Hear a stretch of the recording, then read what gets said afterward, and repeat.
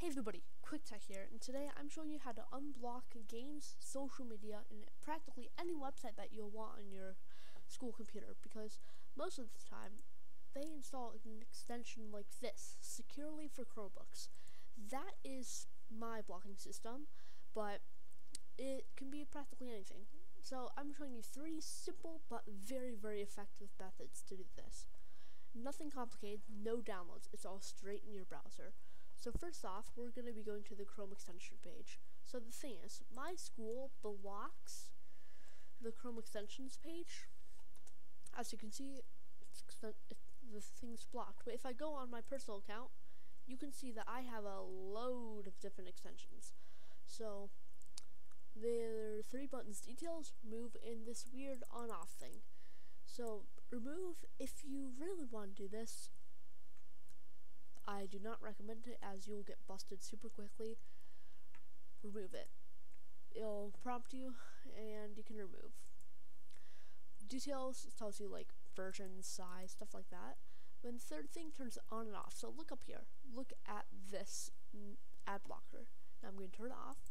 It's gone. And it got replaced by this and this moved in. So that basically turns on and off and on and off and on and off.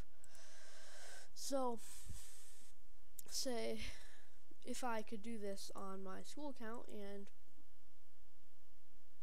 use and turn it off, I could access any website I want.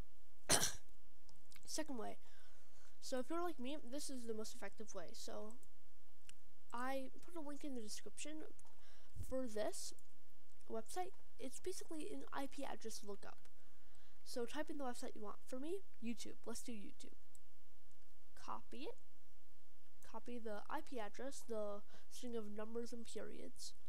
So the IP, every domain name like youtube.com, google.com connects to one of these numbers. So enter in the number and you'll be led to the website. So I'm led to Google because YouTube is owned by Google and they're running the same servers. That's just a one-time thing. So yeah. I can do practically any website I want with this. So only problem is, is that if I go to the Google, it'll replace it with google.com. So if it's a website that you that the teachers will block, like let's just say happywheels.com, that is an isn't actually an IP name, that isn't the real IP name, but let's say happywheels.com. It will keep it like this. It'll keep it the IP address, but a lot of times if I go to yahoo.com, good example, here's a bunch of more stuff for some weird reason. Oh, probably because it's run on multiple servers. Yeah, you might encounter that. Just copy any of them. Any of them will do. Copy it up. Sometimes that that'll happen, which you can. It, the IP address will stay. Um, but yeah, sometimes it turns into the domain, and that is not good. So the final method I'll be showing you today is quite simple. It requires no skill at all. So let's just say I want to access the Urban Dictionary. So I go to the Urban Dictionary. So okay, you see the link, you see the big text, then you see the green link. There's a green arrow to the right of the of the link. Click it. You should see this, and then click on that. You will be led to this. This is Google's snapshot of the page it was last updated one day ago, believe it or not. Um, and you can see practically anything you want.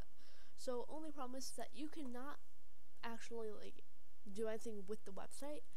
If you click on any links to any more pages, see this it this thing will change to urbandictionary.com. So you can't click on anything. Um, also worked with other browsers if I want to access Urban Dictionary.